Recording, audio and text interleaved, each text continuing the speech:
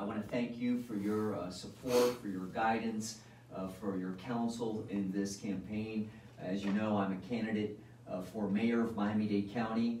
The ballots are already literally in the mailbox. Folks are already voting. I had the incredible privilege of serving as mayor uh, from 1996 to 2004. I'm delighted to offer uh, myself up again, I, and I'm particularly delighted this morning to be here at uh, WMBM. Uh, my regards, uh, my hello to Bishop Curry, dear, dear friend who I've known for so long, and I also want to take this opportunity to thank him uh, for not only for his friendship, but for his support in this campaign as I seek to return as mayor of Miami-Dade County. Thank you, Mayor. Um, of course, as we're out in the community, we gather questions from people, and I just want to present some of those questions this morning. One of the first questions are, um, what are your, what are some of your priorities for the black community? Great question, and, and there's many, but let me start with really what's top of mind for, for many in the community, and that's, you know, what happened uh, to George Floyd and what we're doing to, to respond to it. Uh, you know, unfortunately, racism is real uh, and, and it exists. And, and we need more leaders to say that and say it up front, like I'm saying it right now. But we also need leaders to take action. When I was mayor, Tangela, we had an independent review panel. Uh, and I fully funded it because I think having citizens' participation is important. And I support uh, Barbara Jordan's efforts to bring the Citizens Independent Review Panel back. Barbara is also a strong supporter of my campaign, and I stand with her as we seek uh, to bring about uh, reform. Uh, minority contracting, I think it's important that we return to those days of race-based contracting where we can set aside uh, contracting for uh, local minority businesses to get those contracts.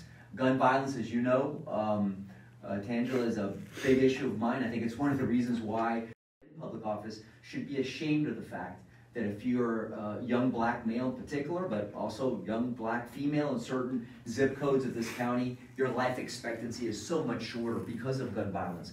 We need to be serious to tackle that issue. So those are just some of the highlights. Uh, public transportation, obviously affordable housing, but those are some of my, my, my priorities, which I think uh, will specifically address many of the concerns of the African American community here in Miami-Dade County.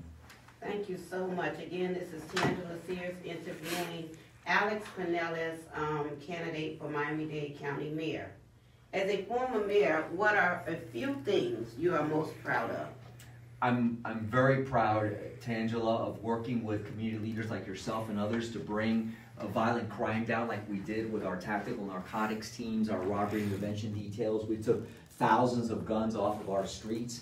Uh, only God knows how many lives we saved as a result of that. I'm proud of that. I'm proud of the work I did on early education with universal pre-kindergarten. That's, a, that's been a big boost uh, for uh, the um, education system, not just here in Miami-Dade County, but the entire state of Florida. Two million, two million four-year-olds in the state of Florida have gone through that program in the last, uh, what, 15 years. Including I'm, my granddaughter. Including your granddaughter. Well, ironically, now my daughter went because my boys were too old, but, but now my daughter went, went, went through it. I'm very proud of that. The work we did on homelessness, which is still a model for the nation. And what can I say about transportation? Um, I fought hard to bring about a dedicated funding source for transportation, including rail along 27th Avenue North, only to see how that money has been grossly misspent over the last 15 years. So those are some of the things I'm very proud of. Okay, Mayor Alex Penelas, um, why did you decide to return to public office? You know, I love public uh, service.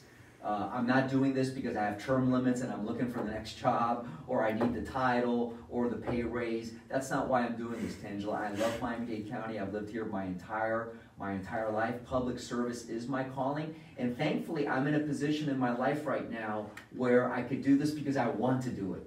And that liberates me really just to do what, what, what's right. But the other motivation is when I go back and I look at the last 15 years, we have not made progress on issues that I really care about. Afford, the, the affordability crisis is worse. There's been no meaningful improvement on public transportation uh, at all uh, in, in, this county. Uh, we, we, still have too much gun violence and violence in general. Uh, these are real issues, and I go back and I and, and I see where we are as a community. We've not addressed our environmental concerns. These are things that I'm very concerned about, and I think we need uh, proven leadership. And now, and, and by the way, those were issues and concerns I had before COVID, right? Now, in the midst of COVID, uh, I'm very concerned about the fact that we need someone that's not going to forget those pre-COVID priorities, but has the experience and the ability to lead us through this crisis, like I led us through so many others. I was mayor, um, Tangela, you know, during 22 different storms. Uh, I, I, the aftermath of 9-11, which had its parallels, right, with the economic issues that we're facing now. I think the county needs that kind of experienced leadership in these very, very difficult times. Thank you, and again, this is Tangela Sears interviewing Alex Penelas, candidate for mayor. Mayor Penelas, how have you been responding to the negative attacks on you? I, well, I've been responding to them by sharing the fact that uh, so many people in the community are supporting me, and that's why I'm being attacked, Angela. Uh, I've been so blessed to have Barbara Jordan supporting my campaign, Bishop Curry, uh, 22 pastors last week, and many more to come endorsed my campaign, including Carl Johnson, including um, uh, Art Jackson, Alfonso Jackson, strong faith leaders, uh, not to mention so many uh, current and former elected officials who are standing by me. So then the attacks start because when others don't have uh, you know, a, uh, you know, a platform to stand on or they don't have accomplishments to stand on, then what they try to do is attack. But I'm not going to go there. Uh, I'm going to stay on the positive.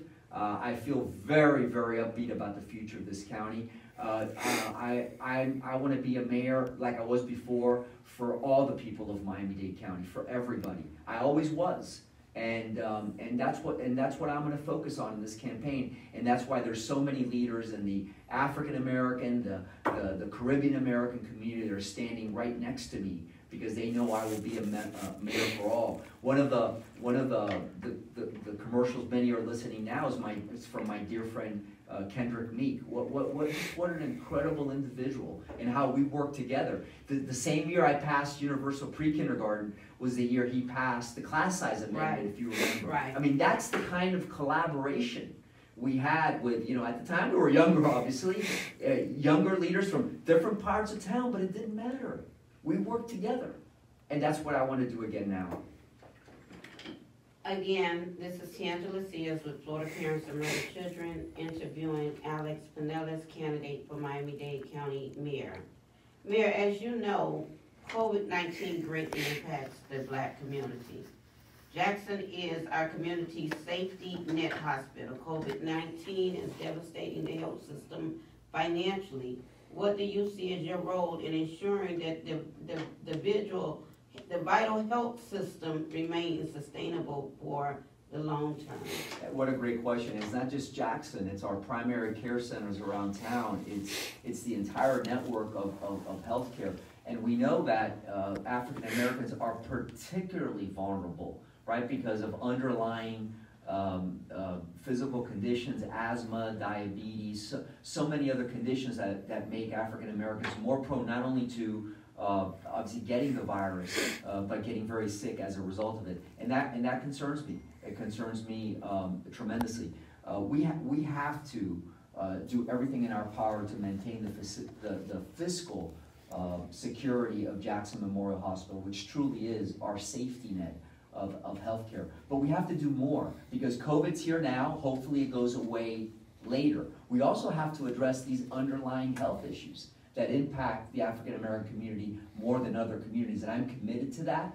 Um, I'm committed to the mental health issue, which is a big issue. As you know, we're, we're having our mental health forum this evening. Mental health is a, was a crisis before COVID, and it's going to be much more now as a result of COVID. So these are all issues that I'm very concerned about as well. Thank you, Mayor Alex Penelas.